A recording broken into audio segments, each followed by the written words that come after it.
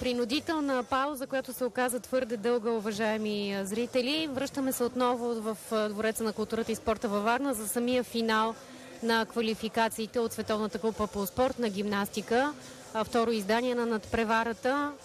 преди малко приключи украинецът Олег Верняев, а това е Джими Вербай от Белгия, последен в стартовия списък на висилка.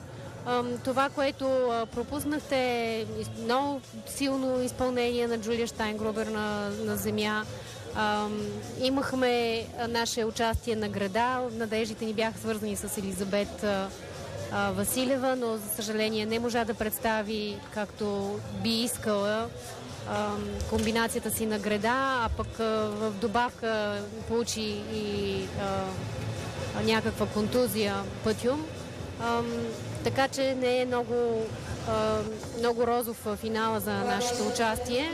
Очакваме потвърждение на резултатите и решение от нашия щаб, кой ще участва от българите с преимуществото на домакините на финалите утре.